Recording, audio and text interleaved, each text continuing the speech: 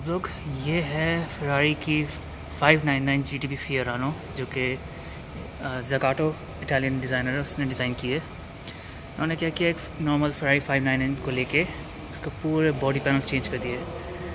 तो इसका नाम जो है अब हो गया है जगाटो निबियो अच्छा क्योंकि धूप आ, आ रही है बाहर से तो शायद इतना अच्छा जो है इसके रंग पता नहीं चला डार्क ब्लू कलर की है। और ये सिर्फ़ दुनिया में नौ हैं और उस नौ में से भी ये सिर्फ़ एक है जो कि मैनुअल गियर बॉक्स के साथ है। जो बाकी जो गाड़ियाँ हैं वो सब flappy paddle automatic gear box है उनके। इधर, इसका रियर एंड मैं आपको दिखाता हूँ। ये इसकी लाइट्स हैं ऊपर, जैसे वाइट कलर की आपको नज़र आ रही हैं। ये इसका पीछे का रियर बहुत ही खूबसूरत तरीके से डिज़ाइन किया हुआ मुझे इसका रियर बहुत पसंद है। फ्रंट इसका मुझे ज़्यादा नहीं पसंद। देख सकते हैं। कि ये साथ साथ खूबसूरत और दोनों है, एक साथ ही दोनों। जब मैं थोड़ा सा इंटीरियर आपको दिखाता हूँ।